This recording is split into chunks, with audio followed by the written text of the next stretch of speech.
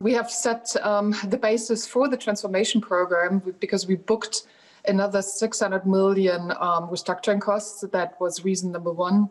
Um, we then also um, booked um, a TLA and increased the TLA, the top level adjustment for our LLPs um, because of the pan pandemic, pandemic um, to 505 million euros. Um, and um, we um, cleaned up our balance sheet and had a goodwill impairment of nearly 1.5 billion. And the combination of this um, led to the result in, in Q4. Let's look at the strategy. Essentially, you're downsizing the bank, or you're planning on downsizing the bank tremendously. So, what's the unique selling point of Commerzbank when you're done with it?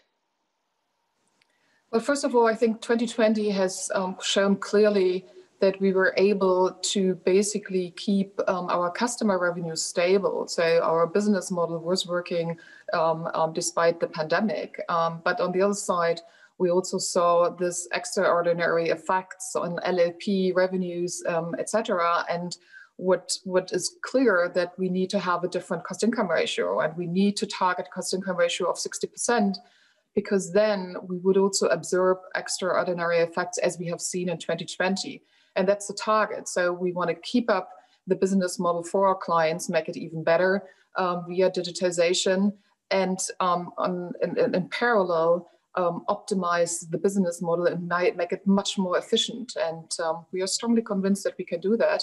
It's an ambitious um, but doable plan. How much pressure do you feel from Berlin? Because it's obviously your biggest shareholder.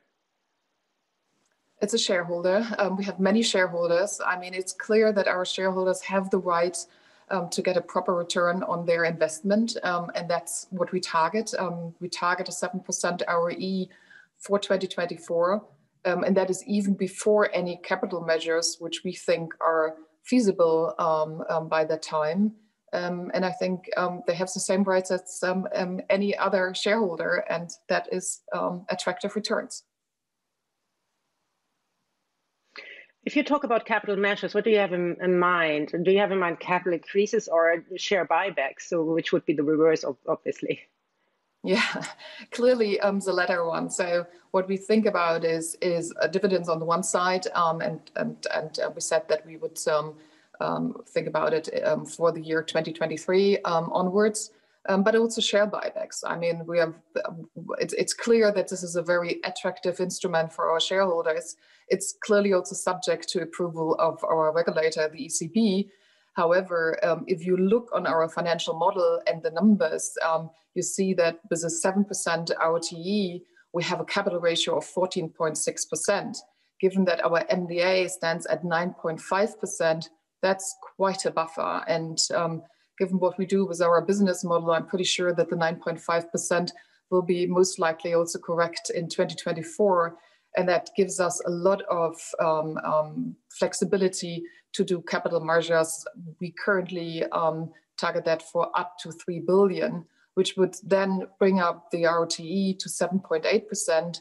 And you could do it either via dividends or share, share buybacks.